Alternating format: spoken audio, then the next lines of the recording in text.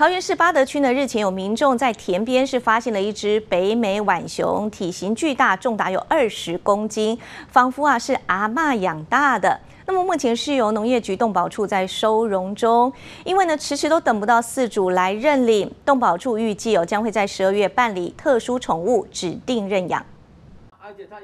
挺着大肚子、水汪汪的大眼睛，配上招牌无辜表情，实在有够可爱。这只北美浣熊在十月底时，在桃园市八德区的田边被民众发现，协助带回家饲养一段时间，发现不适合，因此通知动保处带回收容。只不过这体型实在是太巨大，且体重达到二十公斤重，相当于是十岁男童的重量，因此被网友戏称这根本是阿妈养的吧。那我们目前是喂它一些鸡胸肉啊，还有一些昆虫性的蛋白质，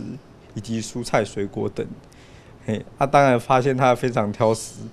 都只吃一点点而已，几乎都是没有在吃。之后会再尝试不同的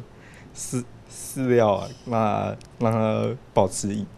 营养均衡。看看这体型，或许是先前伙食太好，造成它现在非常的挑食。而动保处也怀疑是否是被人遗弃。从十月三十号公告认领至今，还是没有饲主出面来认领。预计将在十二月时办理特殊宠物认养。由于浣熊的习性和一般毛小孩不同，因此筛选饲主也有条件。第一个，呃，地点一定要宽啦，哈，因为这浣熊它